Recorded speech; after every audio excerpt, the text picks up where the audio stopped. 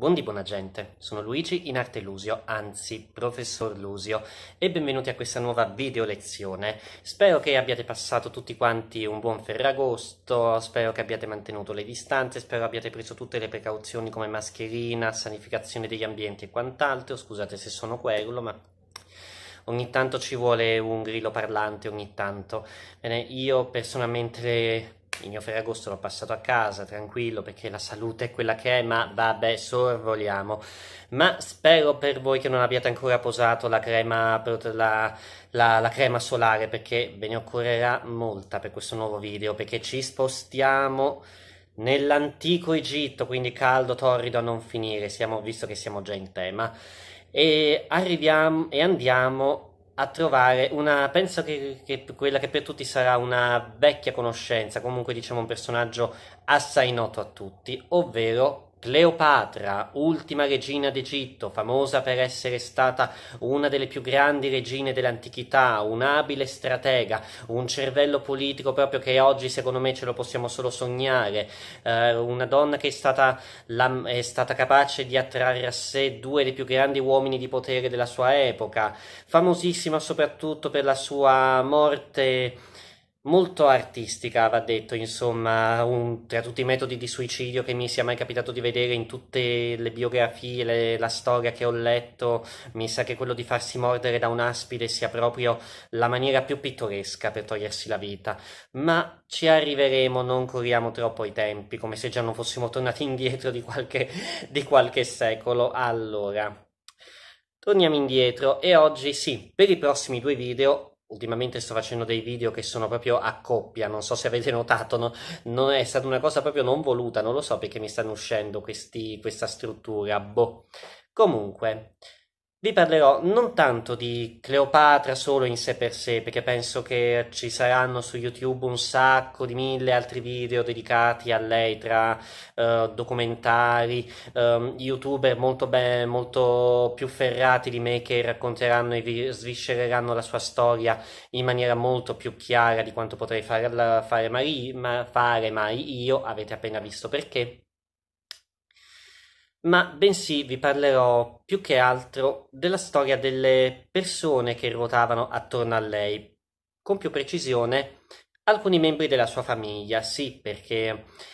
Molti non sanno che Cleopatra ebbe sia dei fratelli che delle sorelle e alcuni di loro, soprattutto per quanto riguarda le sue sorelle, hanno avuto una storia veramente molto interessante e hanno mostrato di essere, se non proprio alla stessa altezza del cervello governativo e uh, combattivo della nostra Cleopatra, sicuramente uh, hanno potuto veramente... Uh, dimostrare di avere anche loro una grande forza d'animo, una certa fermezza e una certa predisposizione al potere. Purtroppo varie vicende, uh, ovvero come ci da, da, quale, da quale parte della storia soffia il vento, come uno si gioca le sue carte. Ebbene, tutti questi elementi hanno segnato un po' a sfavore di queste care nostre Cleopatra Sisters e hanno, puntato, hanno gonfiato le vele del successo della nostra Cleo. Ma andiamo con ordine e quindi oggi iniziamo con una bella lezione sulle sorelle di Cleopatra, Berenice e Arsinoe. Quindi Partiamo subito per il nostro nuovo viaggio. Allora, prima di iniziare un piccolo excursus sulla famiglia di Cleopatra, famiglia nel senso dinastico del termine. Allora, lo so che siamo abituati a vedere Cleopatra come l'ultima regina d'Egitto, l'ultima, fara- l'ultima dei faraoni,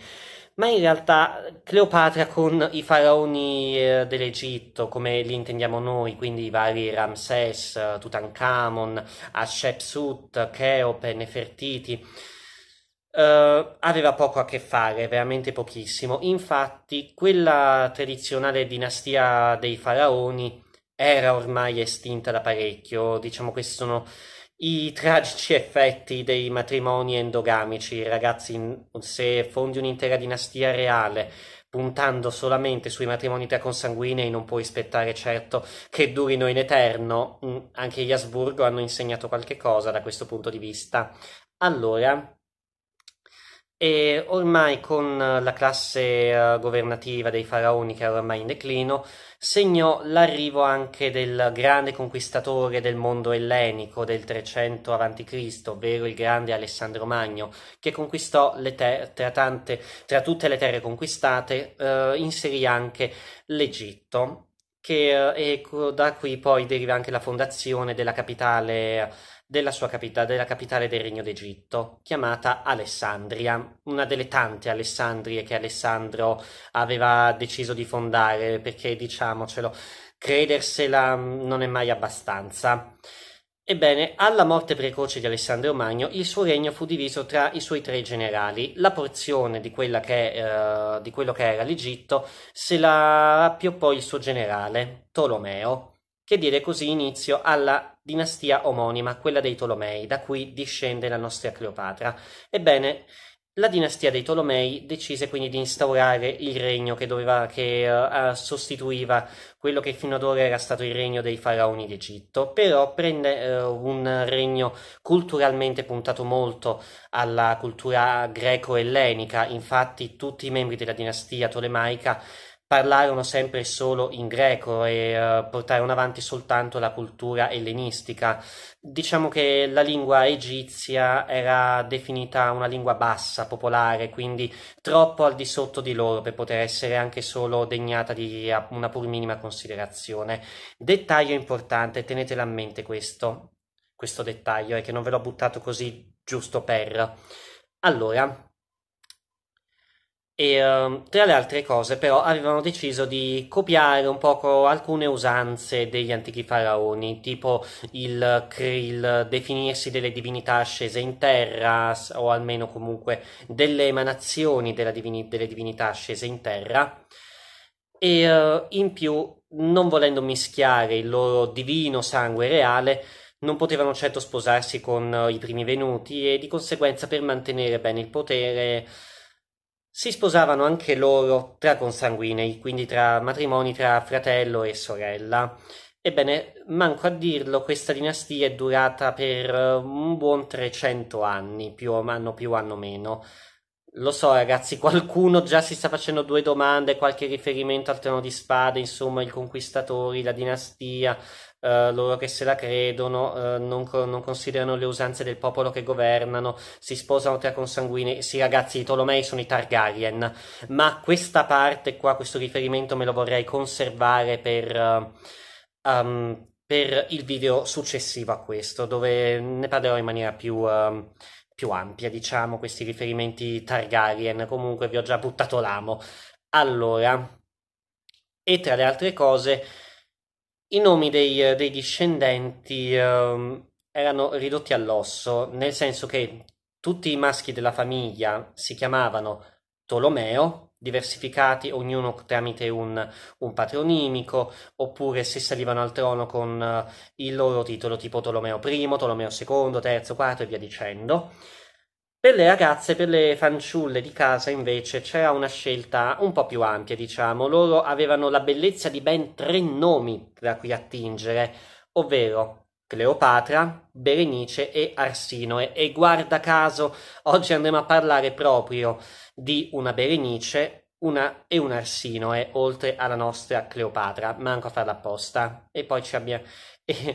perché, ecco qua, arriviamo a un ennesimo Tolomeo, Tolomeo XII del suo nome, detto Aulete, ovvero suonatore di liuto. Questo Tolomeo quindi potete immaginarvelo come una sorta di uh, nostro imperatore Nerone wannabe, uh, con la, una grande sfegatata passione per la musica, per l'arte, queste cose qua. Bene, questo Tolomeo sposò ovviamente una sua sorella, o comunque le poche fonti che ci sono giunte, sì ragazzi perché ve lo dico, mh, mm, le fonti per, per, questa, mh, mm, per questo video per me sono veramente ridotte all'osso, veramente, non, non ho saputo quasi uh, dove andarmene a cercare le notizie perché sono veramente mh, mm, sporadiche, veramente minime, pochissimo proprio, veramente, ma veramente poco, eh. Ma quel poco che abbiamo ce lo facciamo bastare, poi giù a suon di teorie. Allora, Quindi sposò sua sorella, o almeno le fonti ci dicono che fosse sua sorella, poi chissà, poteva essere una sorellastra, una cugina, anche una nipote, diciamo, tra loro l'importante era sposarsi in famiglia. Comunque, sposò quindi questa sorella, Cleopatra, detta Trifena. Allora, visto che già so che eh, rischiamo di incorrere in molte confusioni con questi nomi che ritornano, uh, questo Tolomeo Aulete e questa Cleopatra Trifena li chiameremo semplicemente Papà Tolomeo e Mamma Cleopatra, così da non confondere troppo le idee. Allora, Papà Tolomeo e Mamma Cleopatra ebbero una figlia, Cleopatra, dite voi? No, no, no, no, no, non è così semplice, non è così scontato, no. Ebbero una figlia femmina a cui fu dato il nome di Berenice, come una delle più grandi regine della dinastia tolemaica, Berenice II. Allora, ebbene, dopo questa Berenice non vennero altri figli, disgraziatamente. Secondo, molto probabilmente Papa Tolomeo e mamma Cleopatra le tentarono di, per, di tutto per avere almeno un figlio maschio da affiancare a Berenice, ma niente, no, non andava. Il seme non, è, il seme non è forte, per citare un vecchio detto sempre uh, hashtag uh, Game of Thrones. Allora, e, que- e così allora Papa Tolomeo scelse di ricorrere al nuovo metodo, ovvero la concubina. E così, otto anni dopo la nascita di Berenice, Papa Tolomeo ebbe da questa concubina un'altra figlia femmina, la nostra Cleopatra. Ebbene, mh, mm, non sappiamo con esattezza se questa donna, questa concubina, chi fosse, non ci viene riportato il suo nome. E alcune fonti dicono che fosse una concubina greco-macedone, altri ancora, e questa fu una teoria molto getton- è una teoria molto gettonata, e la stessa Cleopatra la fece sua e la usò proprio per i suoi fini propagandistici quando si trattò di prendere il potere, si dice che in realtà questa concubina fosse proprio un'egiziana appartenente alla nobile casta sacerdotale, quindi doppiamente importante, un'unione fatta non solo con un'egiziana, ma addirittura con un esponente eh, della, del clero locale, quindi proprio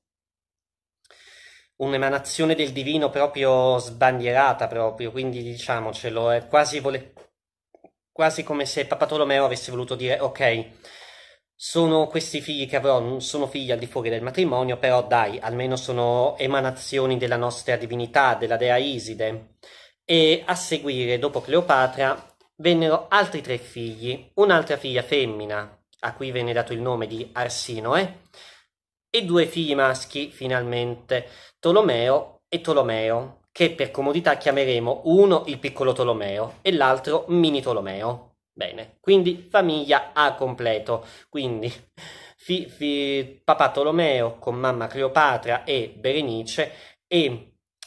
concubina che poi dopo aver fatto il suo compito probabilmente venne liquidata tranquillamente con gli altri figli Cleopatra, Arsinoe, il piccolo Tolomeo e il mini Tolomeo. Bene, una bella famiglia felice, una bella famiglia allargata, modern family? No, Consideriamo una cosa, anche in quell'epoca il concetto di famiglia tradizionale non è proprio il concetto di famiglia che abbiamo tuttora. Già il fatto che si sposassero tra consanguinei vi dovrebbe far capire un sacco di cose, ma non solo ci si, tra i Tolomei c'era questa abitudine, non solo ci si sposava in famiglia, ma ci si ammazzava in famiglia, sì infatti, eh. Diciamo che uh, le... le discussioni, le diatribe, i tentativi di avvelenamento, di omicidio vari, così, eccetera, eccetera, non mancavano assolutamente. A maggior ragione se ci troviamo in questa situazione in cui da una parte abbiamo una, par- una componente della famiglia legittima, tra virgolette, in questo caso mamma Cleopatra con sua figlia Berenice, e dall'altro abbiamo i figli della concubina Cleopatra, Arsinoe, Tolomeo e Tolomeo. Ebbene, ma a parte i problemi in famiglia, c'erano ben altri problemi, ovvero, da un punto, ovvero anche la, i Tolomei, come già i faraoni dell'Edde di altra epoca, stavano ormai decadendo, anche perché, come anche tutte le altre um, discendenze derivate dal, dalla conquista ellenistica di Alessandro Magno, perché più, loro, tramo, più, il loro sole tramontava, più sorgeva un nuovo sole, ovvero quello del dominio di Roma, capeggiato da quello che da, già da un giovane condottiero molto, uh, molto famoso, diciamo, mica Corbezzoli, ovvero Giulio Cesare, che a mano a mano stava estendendo sempre più i domini di Roma su tutto il Mediterraneo e anche l'Egitto stava per diventare, stava a tanto così da diventare una provincia romana. Ma eh, a molti indipendentisti, chiamiamoli così, a molti nazionalisti egiziani questo non andava molto giù.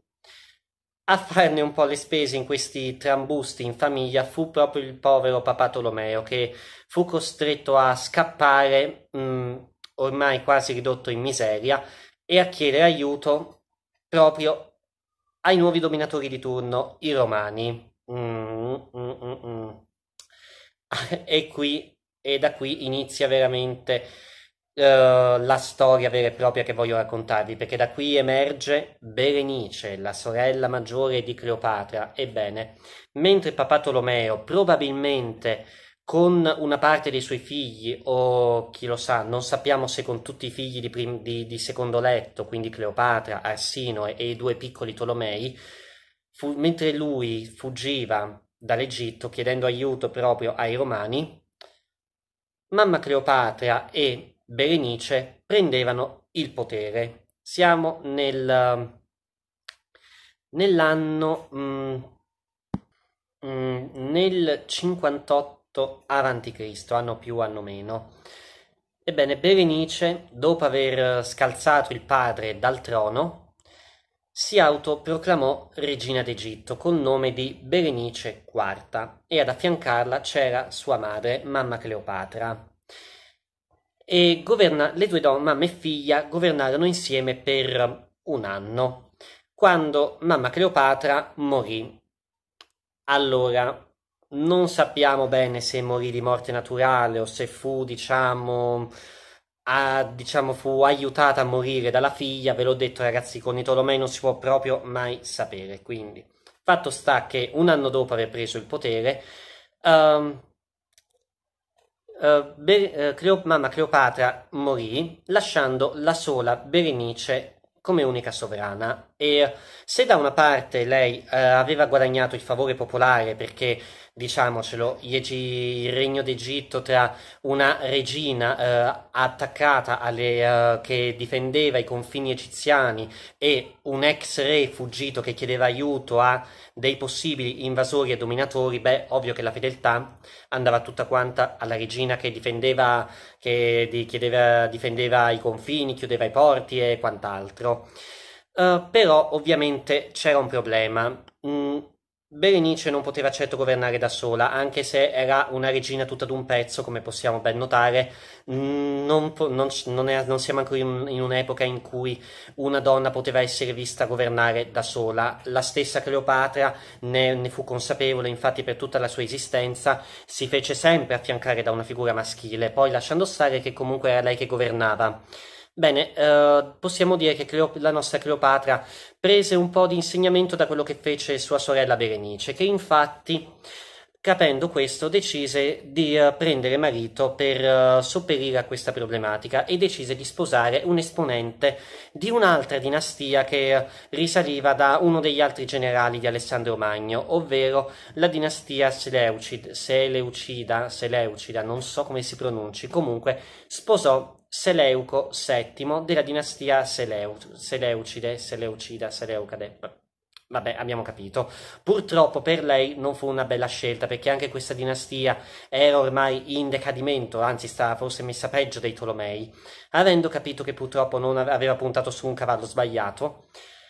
quando, ehm, dopo che Papa Tolomeo iniziò a bussare di nuovo alla porta di casa con dietro un esercito romano a cui aveva promesso ampio sostegno, eh, aveva promesso la fedeltà dell'Egitto e aveva gettato le basi per quelli che sarebbero stati gli accordi che avrebbero reso l'Egitto il granaio di Roma,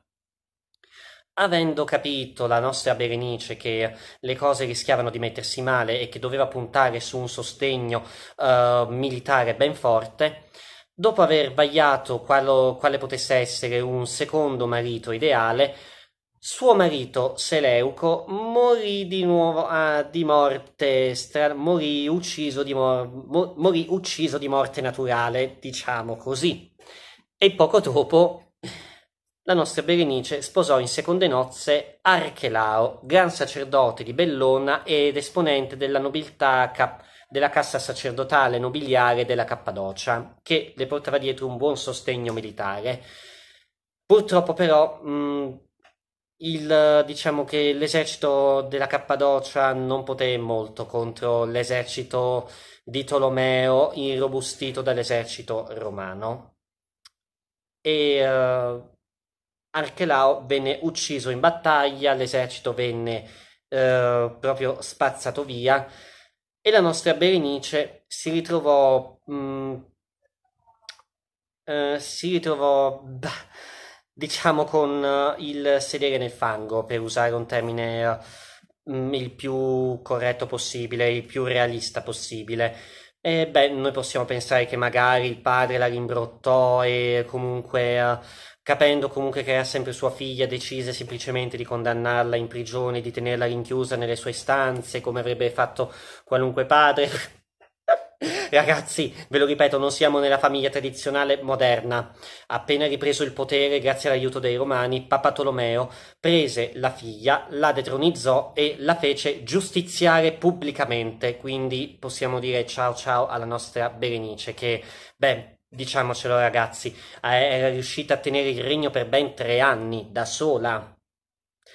Non è proprio, uh, non proprio non è stato un lavoro da non da poco, diciamocelo, vista l'epoca in cui vi ci troviamo. E secondo me, almeno per come la vedo io, la giovane Cleopatra, che all'epoca doveva avere sui 13 anni, 13-14 anni, fu sicuramente un ottimo uh, banco di insegnamento uh, in cui lei uh, capì veramente come poteva giostrarsi una donna per ottenere il potere, co- su quali punti poteva puntare per ottenere alleati e soprattutto quali erano gli errori che lei non avrebbe mai dovuto fare. E fu degli insegnamenti che fu sicuramente un insegnamento molto importante, come vedremo in seguito.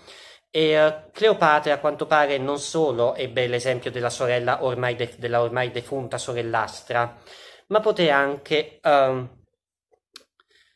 puntare a, a un allenamento sul campo. Infatti, mort, rimasto vedovo, avendo eliminato la figlia maggiore,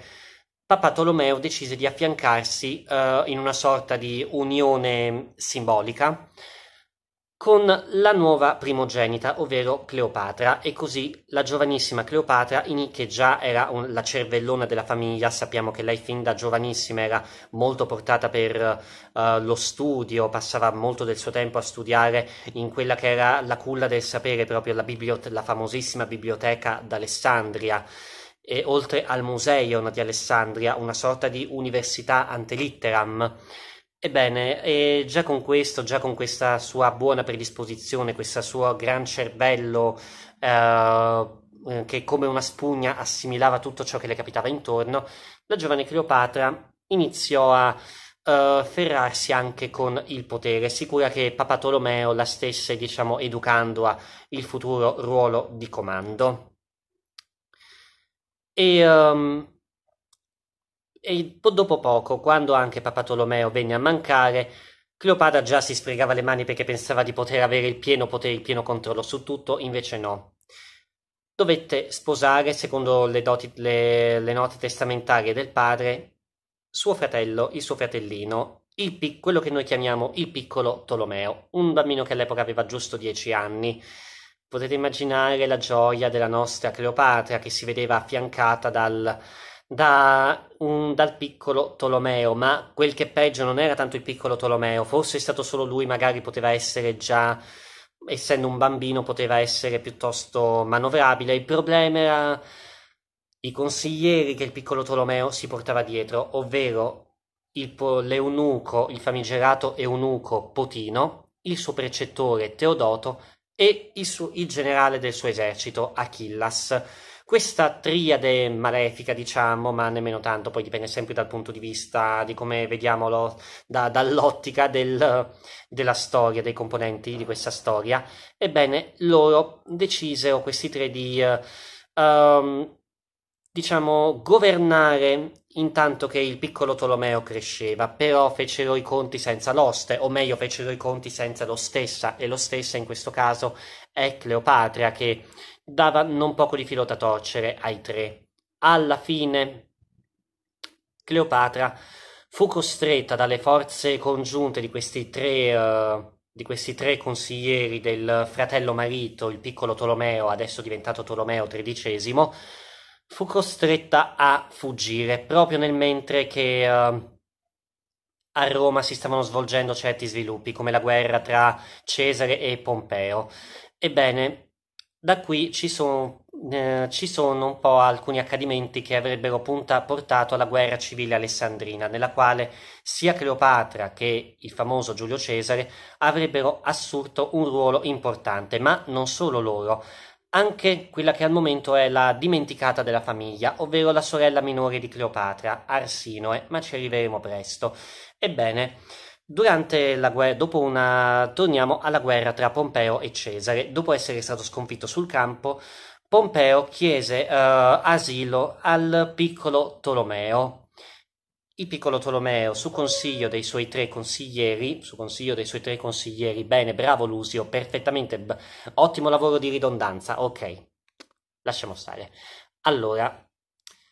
chiese asilo e sostegno militare al piccolo Tolomeo, che glielo accordò, sempre su consiglio dei suoi consiglieri. Però purtroppo, sempre su consiglio dei suoi tre consiglieri, scusate sempre la ridondanza, il piccolo Tolomeo fece un errore veramente mador- un, treme- un gravissimo errore. Infatti, non appena Pompeo, sicuro di essere ormai in salvo, approdò in Alessandria, venne Zacre Zacre decapitato da,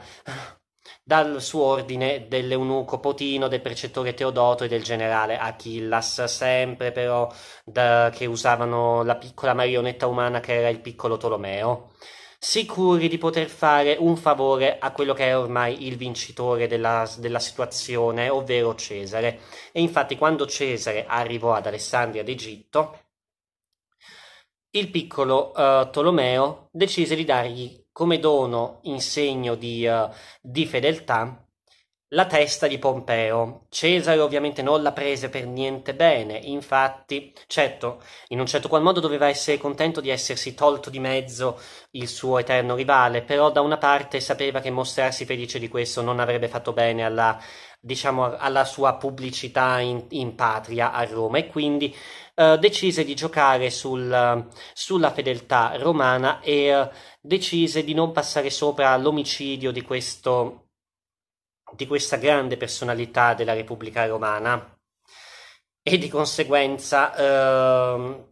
i rapporti si fecero parecchio ma parecchio tesi. Ed è qui che rientra in scena Cleopatra che, essendo fuggita e nascosta per evitare che i sicari di Potino la facessero fuori,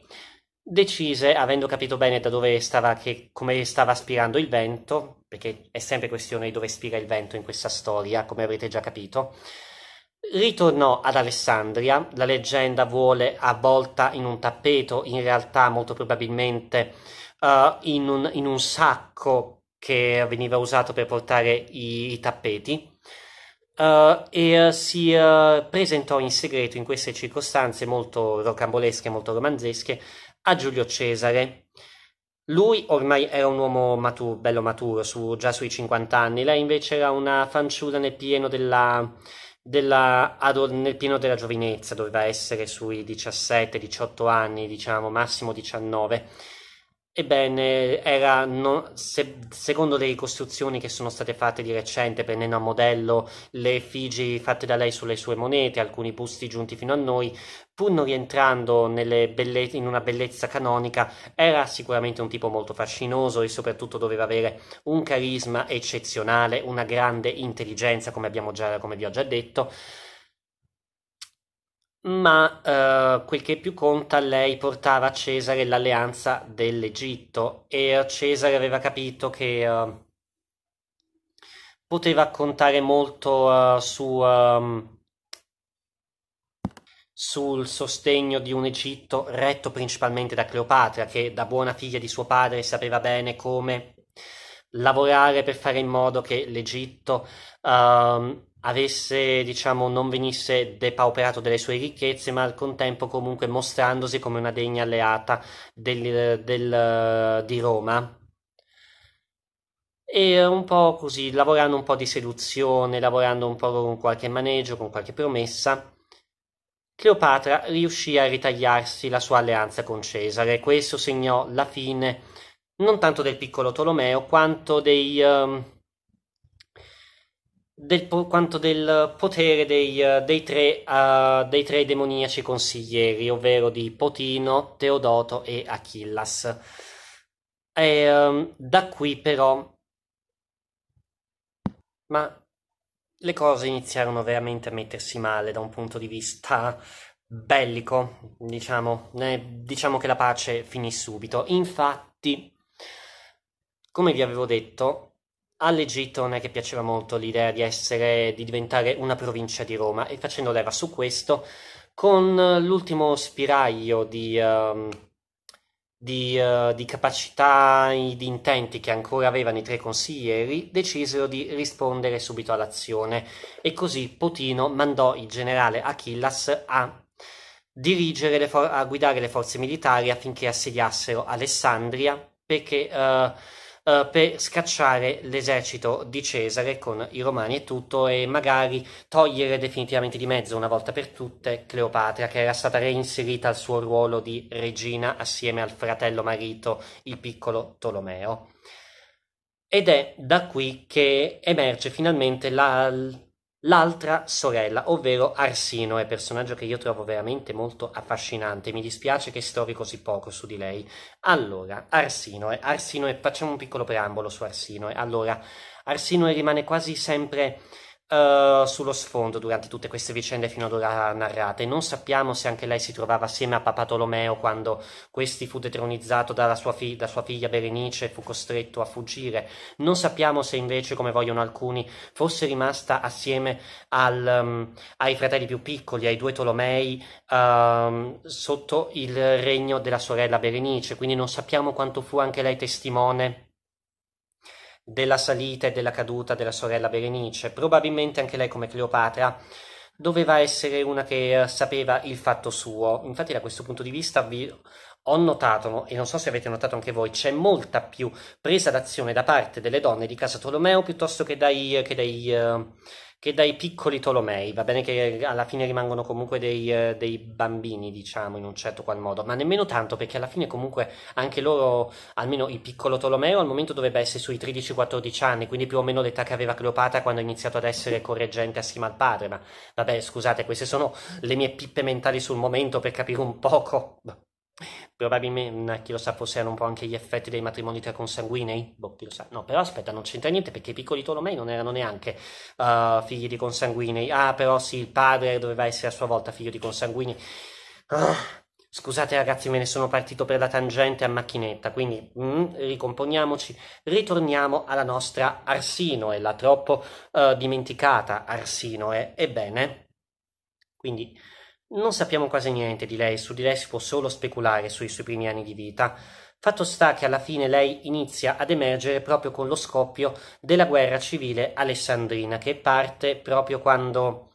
Achillas viene mandato a comandare gli eserciti affinché vengano sconfitti e scacciati i romani, Cesare e Cleopatra vengano liquidati e il piccolo Tolomeo venga ristabilito al ruolo che gli compete, non più come semplice burattino nelle mani di Roma, ma come vero e proprio uh, sovrano legittimo d'Egitto. Ed è qui che Arsinoe inizia a farsi un po' due calcoli, avendo capito che Cleopatra sta puntando, sta puntando a un'alleanza con Roma, Arsinoe, come già fece Berenice a suo tempo, decise di puntare al nazionalismo total, egizia, total egiziano. E dalla sua magari aveva un elemento che magari a Berenice mancava, ovvero il fatto che Arsinoe, come già anche sua sorella Cleopatra, era per metà proprio egiziana, essendo figlia di una, probabilmente una, siamo sempre nel campo delle teorie, una sacerdotessa di Iside probabilmente. E facendo leva su questo, probabilmente eh, giocò molto su questo quando, dopo essere fuggita da palazzo nel quale era rimasta rinchiusa assieme a, ai du, agli altri due fratelli, al piccolo Tolomeo e a Mini Tolomeo, dopo essere fuggita nottetempo dal palazzo, si unì all'esercito comandato da Achillas e si fece eleggere come regina dell'Egitto come, con il nome di Arsinoe IV, da contrapporsi alla traditrice Cleopatra eh, VII. Nel mentre il primo dei tre consiglieri ci lasciò le penne. Infatti, quando Potino venne scoperto che, quando Cesare scoprì che Potino stava mandando lettere ad Achillas per informarlo su, uh, sui, spost- sugli spostamenti militari, venne fatto, da, venne fatto uccidere fuori uno. E nel mentre quindi accadevano questi fatti, Arsinoe riuscì a fuggire da palazzo grazie all'aiuto di un eunuco, un altro, di nome Ganimede, e si unì all'esercito di Achillas e, e facendo leva sulle uh, sue origini e soprattutto sul, uh, sve- sulla svendita dell'Egitto da parte di Cleopatra, si fece eleggere regina col nome di Arsinoe IV, sperando che uh, dopo che, sperando che se l'esercito fosse riuscito a, a, sconfiggere Roma, avrebbero potuto togliere di mezzo Cleopatra e lei sarebbe subentrata come regina consorte del fratello. Però purtroppo le cose iniziarono veramente male, infatti sia Arsinoe che il generale Achillas si trovarono subito in disaccordo su molti punti militari e Arsinoe fece valere il suo Mm, i suoi uh, voleri in quanto nuova uh, sovrana d'Egitto tra, um, fino a prova contraria e fece decapitare Achillas e lo sostituì con l'eunuco che l'aveva aiutato a fuggire, ovvero Ganimede. E va detto, uh, sebbene gli inizi, gli inizi furono parecchi, furono piuttosto a favore de, degli egiziani, infatti con la flotta asserragliata, la flotta uh, egizia che bloccava uh, gli arrivi uh, da, dei rifornimenti da Roma, loro che ta- tagliarono i, ogni possibilità per, le, per Alessandria di, di, recuperare non solo cibo ma anche acqua, sa- rendendo salati i pozzi. Però da questo punto di vista Cesare li gabbò perché fece scavare nuovi ponti, quindi gliela fece proprio un dito meglio puntato contro, ecco. Alla fine, però, purtroppo uh, le cose iniziarono a mettersi male per Arsinoe. Infatti, la, gli egiziani iniziarono a, a, stancarsi del governo piuttosto tirannico di Arsinoe e di Ganimede e di conseguenza promisero ai romani di consegnarli entrambi come prigionieri in cambio uh, della liberazione uh, del piccolo Tolomeo. Cesare acconsentì, sperando sarebbe servito a, um, a, far finire questa guerra civile, però purtroppo anche lui fece i conti, senza, i conti senza l'oste e appena il piccolo Tolomeo fu uh, lasciato libero, fu, uh, lui si riunì all'esercito egiziano, mise momentaneamente da parte la povera sorella, la povera Arsinoe, e iniziò a guidare lui stesso la lotta contro, contro i romani. Purtroppo le cose non andarono come lui sperava e durante la battaglia del Nilo all'inizio del 47 a.C. gli egiziani vennero mh, disastrosamente sconfitti dall'esercito romano che si era unito agli eserciti uh, di, uh, diciamo, di Mitridate e dei giudei di Erode Antipatro e durante la, la fuga che ne conseguì, durante il fuggi-fuggi generale, il piccolo Tolomeo cadde in acqua e, eh, appesantito dall'armatura d'oro che indossava, morì. E finisce così la guerra civile alessandrina, con il piccolo Tolomeo morto annegato e Arsinoe che venne fatta prigioniera da Cesare e da una vittoriosa Cleopatra che intanto stava portando nel grembo il figlio che aveva dato a Cesare, il futuro Cesarione. Ebbene, per Arsinoe, ormai ex Arsinoe IV, ormai non restava altro da fare che la sfilata della, mm, degli sconfitti. Infatti, per celebrare la vittoria dell'esercito romano sull'esercito egiziano e uh, la, l'unione, l'alleanza di, dell'Egitto di Cleopatra VII, adesso unitasi all'ultimo fratello minore che le era rimasto, ovvero Mini Tolomeo, molto simbolica, stavolta Cleopatra era l'indiscussa sovrana di tutto e di tutti, di tutta cosa, per, dire, per dirlo francamente. Um, e durante i festeggiamenti che ne conseguirono, alla quale uh, Uh, durante le, le, i festeggiamenti, dopo che il rientro a Roma di Cesare, tra, uh, fest- tra la, la, durante la, la, marcia degli sconfitti tra i prigionieri, spiccava fra tutti Arsinoe. E sebbene se, da, se all'inizio lei venne uh, fischiata e offesa in quanto una straniera che si era opposta al potere di Roma, lasciò mh, impressionati molti, uh, molte personalità di Roma per, suo, per, la dignità con la quale sfilò con le catene ai piedi. In mezzo a tanti uomini con il volto chino, lei era l'unica a tenere la testa alta e fece, un, come vi ho detto, non poca impressione, tant'è che a seguito delle proteste che sorsero a gran voce dopo quello spettacolo, Cesare fu costretto a risparmiarle la prigione, uh, trasgredendo un po' a quelli che erano i voleri di Cleopatra che avrebbe voluto la sorella non tanto imprigionata quanto morta per evitare qualsiasi problema futuro. Ma Cesare, per, diciamo, per questioni più che altro di pubblicità, decise di mostrarsi umano e, e un civile romano e uh, graziò in un certo qual modo Arsinoe, però la esiliò ad Efeso, dove lei uh, venne, dove venne rinchiusa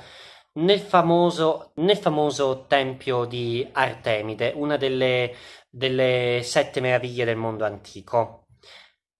dove rimase uh, a languire per uh, un quasi cinque anni. Totalmente sembra in silenzio a leccarsi le ferite in un certo qual modo, però a quanto pare non si era data molto per vinta. Infatti, secondo quanto riferiscono alcune fonti, tra i quali anche alcune spie sguinzagliate da Cleopatra perché affinché tenessero d'occhio Arsinoe, ebbene, lei iniziò a, a farsi chiamare, non si sa se era lei che si faceva chiamare così o erano le persone che le gravitavano attorno a chiamarla in questo modo, ma a chiamarla piccola regina o reginetta, dando così l'idea che lei stesse eh, radunando piano piano le forze per riscontrarsi di nuovo con la sorella. Questo avvenne quando, dopo, intanto che succedevano queste cose, mentre Arsinoe languiva nel tempio di Artemide a Efeso, la storia continuava come noi la conosciamo. Cesare, che stava premendo per abbattere la Repubblica e instaurare l'impero, venne ucciso alle liti di marzo. Cleopatra, vistasi privata del suo sostegno, all'epoca anche lei si trovava a Roma, Vistasi privata del suo sostegno, fu costretta a riparare di nuovo ad Alessandria, a raccogliere le forze e uh, intanto Roma venne dilaniata dalla guerra civile tra il partito uh, uh, degli Ottaviani capeggiati dall'erede di Cesare, ovvero il suo nipote, suo figlio acquisito, il nipote Ottaviano e il, l'amico di il il, l'amico di uno dei più grandi, dei più stretti amici di Cesare, Marco Antonio, futuro amante di Cleopatra, eh, contrapposti a Bruto e Cassio, a capo i capi dei Cesaricidi. Ebbene, proprio in questo frangente, Arsinoe a quanto pare segnò la sua sorte. Infatti lei ebbe la, la brutta pensata, puntando sempre sul cavallo sbagliato, di promettere la sua alleanza a Cassio, promettendogli uh, sostegno qualora ne avessero avuto bisogno e uh, se uh, tutto fosse, se, diciamo, il vento della vittoria avesse soffiato dalla parte dei, dei cesaricidi. Nel mentre i cesariani, o ottaviani, come vogliamo chiamarlo, i cesariani, chiamiamoli così, chiesevano l'aiuto di Cleopatra, che un po' per varie questioni glielo promise, però purtroppo a causa di una tempesta non poté... Uh, non, uh, l'eser- l'esercito che la flotta che lei aveva promesso ai cesariani non poté uh, raggiungerli, ma alla fine, con o senza la presenza delle due sorelle d'Egitto di Cleopatra e di Arsinoe, la storia decise a favore dei cesariani. Bruto e Cassio si suicidarono dopo aver visto la sconfitta e Ottaviano e Marco Antonio erano vittoriosi e assieme all'Epido formarono il secondo triumvirato con Marco Antonio che si prese gli, uh, i domini della, dell'Egitto, segnando così il suo avvicinarsi a, a, Cleopatra. E proprio da questo avvicinarsi sappiamo tutti uh, cosa ne sarebbe derivato e in più uh, ciò segnò anche il destino finale di Arsinoe, come vi ho detto. Il fatto che Arsinoe avesse strizzato un po' troppo l'occhio ai cesaricidi fu un po' un, uh, una firma su una condanna a morte e infatti approfittando nu- della sua nuova alleanza con Marco Antonio, Cleopatra chiese a quest'ultimo un pegno di fedeltà in cambio della, della, della fedeltà di un'ulteriore uh, fedeltà dell'Egitto nei confronti di Roma, che rischiava di essere minato dal fatto che lei, pur avendo promesso di dare loro una flotta in sostegno, non li aveva mandata, quindi prometteva un ulteriore sostegno a Roma, in particolare alla Roma di Marco Antonio, in cambio però della vita di Arsinoe. Arsinoe tecnicamente era, tem- uh, era, stat- era, esiliata in un luogo sacro, diciamo, uh, vivere in un tempio all'epoca doveva essere l'equivalente del vivere in un luogo sacro. Per farvi un'idea, ragazzi, il gobbo di Notre Dame, diritto d'asilo, diritto d'asilo, ecco, più o meno, più o meno il ragionamento è quello. Qui risultava, mh, mm, diciamo, un'impresa sacrilega spargere, diciamo, diciamo, strappare una persona da un luogo sacro dove tecnicamente aveva cercato rifugio e ucciderla. Ma diciamo che Marco Antonio era tipo che si faceva pochi scrupoli, come anche Cleopatra, per la quale il potere aveva uh, una sua importanza maggioritaria rispetto alla famiglia, tant'è che all'epoca era anche rimasta vedova dell'ultimo fratellino rimasto, ovvero Mini Tolomeo, morto a quanto pare durante un'epidemia di peste ad Alessandria, ma secondo alcuni probabilmente fatto uccidere perché crescendo stava iniziando ad alzare un po' troppo la cresta, per cui Arsinoe era diciamo l'ultimo nome della lista da depennare per Cleopatra che intanto si era affiancata sempre in maniera simbolica al giovanissimo uh, figlio avuto da Cesare, appunto Cesarione. Questo per farvi capire sempre quanto comunque Cleopatra fosse molto accorta anche nella gestione del potere e nel mantenimento di certe configurazioni del potere, come appunto l'essere affiancata sempre da una figura maschile. Allora. E quindi con la nuova alleanza con Marco Antonio chiese in cambio la, la testa di sua sorella Arsinoe. E, uh,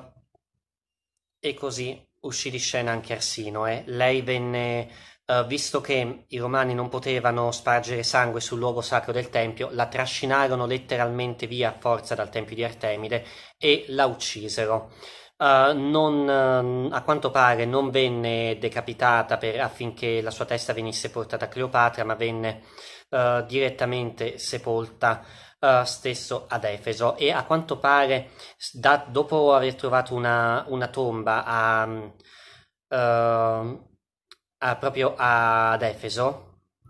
una, in una sorta di mausoleo dove, stato, dove, sono stati trovati i resti di una fanciulla tra i 18 e i 20 anni a quanto pare e Arsinoe all'epoca in cui venne uccisa aveva 27 anni per molti è stata uh, definita la tomba di Arsinoe. Molti, sto- molti, storici e molti studiosi non sono concordi sul, su questa identificazione, ma fatto sta che se veramente si trattasse, se veramente questa fosse la tomba di Arsinoe con tanto di salma, uh, lì suo sarebbe l'unica tomba della dinastia dei Tolomei ad essere giunta fino ai giorni nostri. Infatti nemmeno Cleopatra è stata, la tomba di Cleopatra è stata ritrovata fino ad ora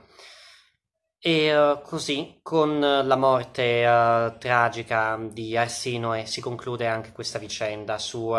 delle, um, delle, sorelle e anche un po' dei fratelli di Cleopatra. Di Cleopatra poi sappiamo come andò a finire il suo tentativo assieme a Marco Antonio di eliminare Ottaviano e instaurare un regno che già era nell'aria comunque l'idea, l'idea voluta da, da Cesare di, soppianta, di sostituire il vecchio, nuovo, il vecchio ordinamento con il nuovo, ovvero uh, collocare un impero romano al posto della Repubblica Romana il tentativo di renderlo una sorta di impero eh, con un certo faro anche in Oriente con il regno d'Egitto, quindi la creazione di un regno tutto quanto loro dove eh, Cleopatra e Marco Antonio avrebbero governato indiscussi, la loro sconfitta ad Azio e uh, il trionfo di Ottaviano e la morte di Marco Antonio e di Cleopatra. Ma su questo punto mi riserverò di parlarne nel prossimo video dove affronterò non solo i collegamenti come vi ho detto tra i Tolomei e i Targari Targaryen del mondo del ghiaccio e del fuoco, ma anche sul mistero che aleggia attorno alla morte di Cleopatra. Per cui, per il... e adesso un po' di cultura generale sulle figure di di Berenice e di Arsinoe. Allora, come vi ho detto già a inizio video, le fonti sono parecchio scarse e anche sono molto dubbie su alcuni punti. Um, e già su di loro purtroppo si trova veramente, ma veramente poco, almeno nella bibliografia Made in Italy. Mi sa che qualche testo straniero, almeno su Arsinoe, sia pure facile, si, si possa anche trovare, ma è molto difficile, il che è un peccato perché comunque, come avete notato, anche Berenice e Arsinoe a loro modo sono state protagoniste nelle loro storie. Purtroppo però ha giocato contro di loro il fatto che eh, abbiano puntato su cavalli sbagliati, abbiano fatto scelte azzardate, non abbiano potuto seguire bene l'onda del momento, non hanno, diciamo, giocato molto di, um, di senso politico come fece Cleopatra, che seppe giocare molto sulle sue alleanze e soprattutto sui suoi cavalli vincenti, cosa che purtroppo né Berenice né Arsinoe furono in grado di fare. Per quanto riguarda quindi le fonti su di loro, alla fine io mi baso principalmente su una mia recente lettura, ovvero Cleopatra, la regina che sfidò Roma e conquistò l'eternità di Alberto Angela, testo attuale che purtroppo su Berenice Arsino è, molto, uh, diciamo, non, si, non dedica molti paragrafi. E, beh, questa è una mia lettura d'infanzia, magari qualcuno di voi potrebbe ridere se ve la mostro, però diciamo che la mia è un po' partita da qui. Diciamo questo è un piccolo elemento di quelli che quando ero piccolo mi hanno spinto a interessarmi molto alla storia, ovvero Cleopatra e il suo aspide di Margaret Simpson, edizione Morto che parla o le biografie dei morti, mo- dei famosi da morire, ovvero queste sorte di brutte storie, tra virgolette, uh, su, in chiave molto ironica su vari personaggi della storia, ma anche del mondo della scienza e della letteratura e dell'arte. Io, oltre a questo su Cleopatra, ho anche Elisabetta I e le sue conquiste e uh, Leonardo da Vinci e il suo mega cervello. Poi so che ce ne sono vari altri, tipo Isaac Newton e, uh, e la sua mela, Roald Dahl e la sua fabbrica di cioccolato, eccetera, eccetera e devo dire alcuni sono ancora trovabili però beh, non so se sono fuori catalogo però penso che se si, si, sforza un po' si possono magari trovare. Io ve lo consiglio sono letture per l'infanzia principalmente però possono essere letti anche da, da qualcuno che da, anche dagli adulti che vogliono informarsi perché comunque è molto uh, molto completo anche da un punto di vista per quanto riguarda la storia di Berenice e di Arsino e qua è molto, uh, molt- è, è, completo. L'unica cosa qua dice che Cleopatra Trifena, ovvero mamma Cleopatra, era una figlia maggiore di Papa Tolomeo. Errore, errore blu, l'ho capito solo in seguito che era un errore. Bene, quindi, e questo mi è anche servito molto per uh, la vita di Berenice e la vita di Arsino, eh, oltre che dei due piccoli Tolomei. Bene, e uh, per quanto riguarda i film, beh, i film purtroppo li hanno sempre nonostante la filmografia su Cleopatra sia ampia, enorme e quasi innumerevole, uh,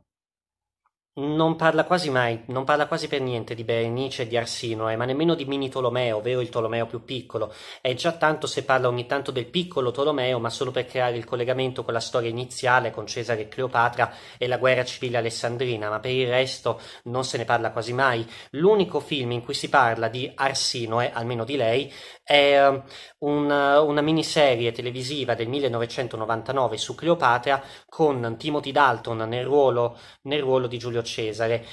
dove um, Arsinoe compare però in un ruolo molto ridotto. Infatti lei uh, viene, la sua storia viene molto ridotta. Si vede che lei partecipa attivamente alla guerra civile alessandrina per, in nome del fratello, il piccolo Tolomeo, viene, vengono sconfitti, il piccolo Tolomeo muore e uh, lei viene imprigionata e stesso in prigione viene fatta strangolare su ordine di Cleopatra, non, non come invece accade nella storia vera dove venne prima fatta marciare come prigioniera a Roma e poi venne esiliata ad Efeso. Diciamo che la storia qui in questa miniserie viene molto uh, abbreviata, però è l'unico riferimento cinematografico su Arsinoe o comunque su una delle sorelle di Cleopatra in generale, con il tipico titolo della Newton Compton, ovvero Il segreto di Cleopatra, titolo che non c'entra assolutamente un cavolo, un bip, non c'entra un bip con il romanzo in sé per sé. Comunque, devo ancora leggerlo quel libro, ma conto di, uh,